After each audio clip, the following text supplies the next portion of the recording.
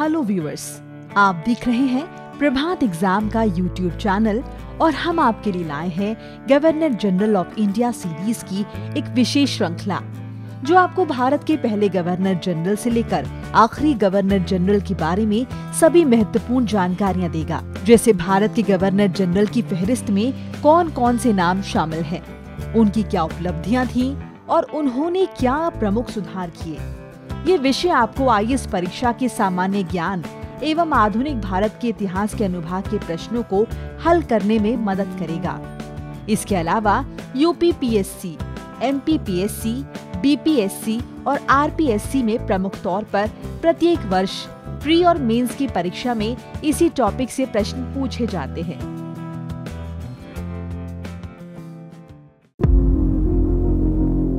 इसके बाद भारत के गवर्नर जनरल के रूप में लॉर्ड विलियम बेनेटिक की नियुक्ति ने भारत में ब्रिटिश शासन के इतिहास में एक नए युग की शुरुआत की। वे 1828 से 1835 तक भारत में गवर्नर जनरल के रूप में बने रहे। बेनेटिक शांति, अनुशासन और अर्थव्यवस्था का व्यक्ति था। वे एक उदार सुधारवादी थे जिन्होंने इंग्लैंड के सुधार आंदोलन में सक्रिय भाग लिया। शांति बहाली और सुधार के कार्यक्रम में उनका दृढ़ विश्वास था। यूलोगिस्टिक भाषा में मैकॉले ने उसे समझाते हुए कहा, बेनेटिक ने ब्रिटिश स्वतंत्रता की भावना को प्राच्य डिपोटिज्म में बदल दिया, जो कभी नहीं भूले कि सरकार का अंत शासितों का कल्याण है। लॉर्ड बेनेटिक एक महान सुधारक थे। वे पहले गवर्नर जनरल थे जो भारतीय लोगों के प्रति सहानुभूति रखते थे और भारतीयों की कठिनाइयों को दूर करने का प्रयास भी करते थे। कॉर्नवॉलिस के बाद ये governor general Lord William Bentinck ही थे, जिन्होंने नए प्रशासनिक सुधारों पर ध्यान दिया और प्रशासन के क्षेत्र में कुछ बदलाव किए। उन्होंने कंपनी की सेवा में भारतीयों को नियुक्त करने की प्रथा शुरू की। कॉर्नवालिस ने भारतीयों को प्रशासनिक सेवा में नियुक्त करना बंद कर दिया था, क्योंकि वे भारतीय लोगों के चरित्र, क्षमता और अखंडता के बारे में कम राय रखते थे। इसलिए उन्होंने यूरोपीय लोगों के लिए सभी उच्च पदों को आरक्षित करने की मांग की। इससे भारतीय बहुत नाराज़ हो गए, लेकिन बेनेटिक ने शासक और शासन के बीच घनिष्ठ संपर्क स्थापित करने के लिए उस नीति को छोड़ दिया।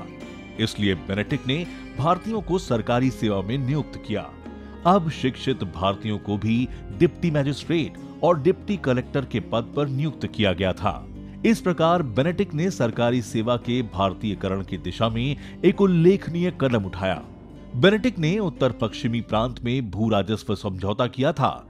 दस साल पूरे करने के लिए इसका सिद्धांत तीस वर्षों के लिए एक अर्ध स्थायी निपटान था, जो दोनों किराएदारों को सुधार करने और राज्य को कुछ लाभ प्राप्त करने में सक्षम बनाने के लिए प्रोत्साहित करेगा। भूमि के समुचित सर्वेक्षण के बाद बस्ती के अनुसार बड़े भूधारकों, काश्तकारों या ग्राम समुदायों के साथ समझौता किया गया। इस व्यवस्था के कारण राज्य का राजस्व बढ़ा। बंगाल की अध्यक्षता को 20 प्रभागों में विभाजित किया गया। प्रत्येक मंडल के ऊपर एक आयुक्त नियुक्त किया गया। आयुक्त ने उन मामलों का भी फैसला किया, जो पहले प्रांतों में अपील और सर्किट की अदालतों के न्यायाधीशों द्वारा निपटाए गए थे। उन्हें जिला मजिस्ट्रेटों और न्यायाधीशों के कामकाज की निगरानी करने का भी अधिकार था। मामलों के विशाल बकाए के लिए अपील और सर्किट के प्रांतीय न्यायालय काफ़ी हद तक जिम्मेदार थे। इन अदालतों में न्यायिक प्रक्रिया का पालन अक्सर देरी और अनिश्चितताओं के परिणाम स्वरूप होता था। बेनेटिक ने इन अदालतों को समाप्त कर दिया। उन्होंने मामलों की सुनवाई में देरी से बचने के लिए विभिन्न ग्रेड की अदालतों की स्थापना की। उन्होंने आगरा में सर्वोच्च न्यायालय की स्थापना की। इस अदालत में दीवानी और फौजदारी अपीलों की सुनवाई की गई। अठारह में मजिस्ट्रेटों को दो साल तक की सजा देने का अधिकार दिया गया था।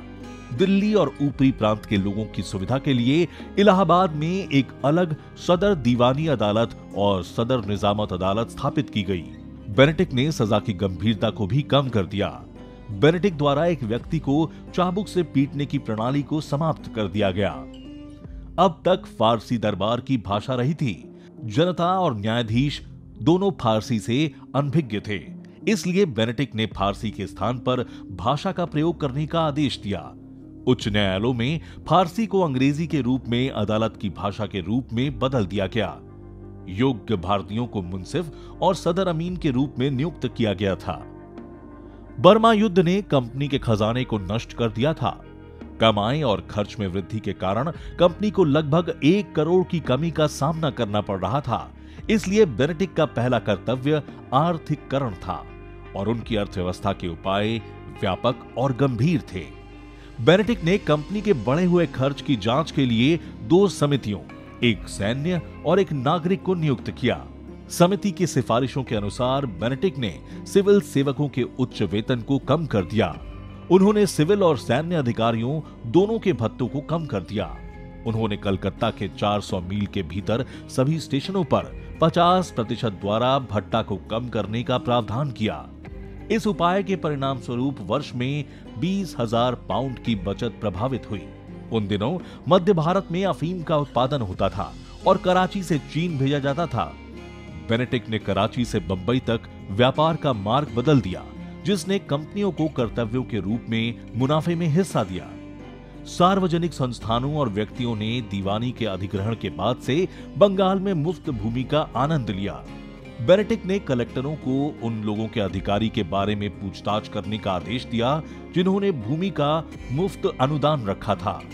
यह पाया गया कि ज़्यादातर मामलों में शीर्षक कर्म जाली थे। सरकार ने बंगाल और बॉम्बे में इन किराया मुक्ति भूमि के प्रबंधन को फिर से शुरू किया। बेनेटिक के इस कदम से कंपनी के राजस्व में भी काफ़ी वृद्धि हुई। उत्तर पश्चिमी प्रांतों की भूमि राजस्व निपटान से भी अधिक राजस्व प्राप्त हुआ। बेनेटिक ने प्रशासनिक पदों पर भारतीयों को नियुक्त करके कंपनी की आय को भी बढ़ाया। भारतीयों को उनके यूरोपीय समकक्षों की तुलना में कम वेतन दिया गया था। इन आर्थिक उपायों का परिणाम यह हुआ कि प्रतिवर्ष एक करोड़ का घाटा प्रतिवर्ष दो करोड़ के अधिशेष में परिवर्तित हो गया। बेनेटिक की महान उपलब्धि, उसका बौद्धिक सुधार था। 1813 के चार्टर एक्ट ने भारत में शिक्षा के पुनरुद्धार और संवर्धन के लिए सालाना एक लाख रुपए प्रदान किए थे। लेकिन ये धन जमा होता चला गया क्योंकि कोई उचित व्यवस्था नहीं हो सकी। बेनेटिक के आने से पहले स्कूलों और कॉलेजों में शिक्षा के माध्यम को लेकर एक बड़ा विवाद चल रहा था। क्या ये भारतीय भाषा के माध्यम से या अंग्रेज़ी भाषा के माध्यम से दिया जाना था? हेमन विल्सन और एच टी प्रिंसेस के नेतृत्व वाले प्राच्यविदों ने शिक्षा के माध्यम के रूप में संस्कृत, अरबी और फारसी के पक्ष में अपनी राय व्यक्त की। राजा राम मोहन राय जैसे भारतीय उदारवादियों द्वारा समर्थित सर चार्ल्स ट्रेवेलियन के नेतृत्व में अंग्रेज़ों ने अंग्रेज़ी भाषा के पक्ष में अपना विचार दिया। लॉर्ड मैकॉले परिषद के कानून सदस्य ने विवाद को एक निश्चित आकार दिया। उनकी सिफारिशों पर निर्णय लिया गया कि जो राशि शिक्षा के लिए रखी गई थी, वो भारतीयों की शिक्षा पर खर्च की जानी चाहिए और अंग्रेज़ी माध्यम से शिक्षा प्रदान की जानी चाहिए। मैकॉले के प्रस्तावों को बेनेटिक ने स्वीकार कर लिया और 7 मार्च 1835 के एक संकल्प में सन्निहित किया। जिसने घोषणा की कि परिषद में उनका आधिपत्य इस बात का है कि ब्रिटिश सरकार की महान वस्तु को मूल निवासियों के बीच यूरोपीय साहित्य और विज्ञान को बढ़ावा देना चाहिए। भारत के और शिक्षा के उद्देश्य के लिए विनियोजित सभी निधि अकेले अंग्रेज़ी शिक्षा पर सबसे अच्छी तरह से नियोजित होंगी। अंग्रेज़ी शिक्षा प्रदान करने के लिए स्कूल और कॉलेज स्थापित किए गए। अंग्रेज़ी भाषा भी आधिकारिक भाषा बन गई और इसने भारत के लोगों को विचारों के आदान प्रदान में मदद की। विलियम बेनेटेक भारतीयों में अपने सामाजिक सुधारों के लिए प्रसिद्ध है। सती और मानव बलि की प्रणालियों के उन्मूलन से उन्होंने समाज को दो सबसे बुरे अंधविश्वासों से मुक्त किया। थुगे की व्यवस्था के दमन से उन्होंने लोगों को उनके सबसे बुरे भय से मुक्त किया। 1834 के अंत तक थुगे सिस्टम को पूरी तरह से बंद कर दिया गया।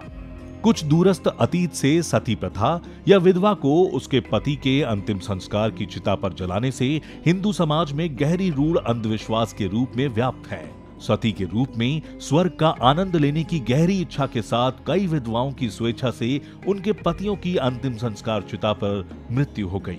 लेकिन कुछ मामलों में सार्वजनिक आलोचना से बचने के लिए उन्हें अपनी इच्छा के विरुद्ध भी मारना पड़ा। एक तरफ़ मौत का डर था, दूसरी तरफ़ समाज का डर था। कुछ स्थानों पर अज्ञानी रिश्तेदारों ने अपनी सामाजिक प्रतिष्ठा को बनाए रखने के लिए विधवाओं को मरने के लिए मजबूर किया। अमीर परिवारों की विधवाओं के मूल्यवान गहने इकट्ठा करने के लालच के बेशर्म इरादे भी थे। विभिन्न समारोहों और अनुष्ठानों और भजनों के बीच जो अमानवीय कृत्य था, इन बुराइयों का अवलोकन करने पर बेनेटिक ने कई विधवाओं के जीवन को बचाने के लिए इस प्रणाली को समाप्त करना चाहा और इसलिए एक विनियमन की घोषणा द्वारा सती प्रणाली को समाप्त कर दिया गया। राजा राममोहन राय, महान भारतीय सुधारक ने बेनेटिक के इस अग्रणी उद्यम का समर्थन किया। यहाँ तक कि वो ब्रिटिश सरकार के समक्ष व्यवस्था के उन्मूलन के पक्ष में इंग्लैंड से विनती करना चाहते थे। बेनेटिक की अगली उपलब्धि पहाड़ी जनजातियों के बीच प्रचलित मानव बलिदान की प्रणाली का उन्मूलन था। बेनेटिक की अगली उपलब्धि पहाड़ी जनजातियों के बीच प्रचलित मानव बलिदान की प्रणाली का उन्मूलन था। 1835 में बेनेटिक ने भारत छोड़ दिया। वे अपने विभिन्न सुधारों के कारण भारत के सभी गवर्नर जनरलों में सर्वोच्च रैंक रखता है। उनकी सात वर्षों के शासन को आयु के सुधार के रूप में जाना जाता है। डॉक्टर ईश्वरी प्रसाद लिखते हैं, बेनेटिक की खासियत शांति की बुलंदियाँ थी। उनका शासन वर्षों से पहले या इसके बाद आने वाले लोगों के विपरीत है। अगर आपको हमारा ये वीडियो पसंद आए तो इसे अपने दोस्तों से शेयर करना ना भूलें। और ऐसी ही दूसरी दिलचस्प जानकारियों के लिए देखते रहिए प्रभात एग्ज़ाम।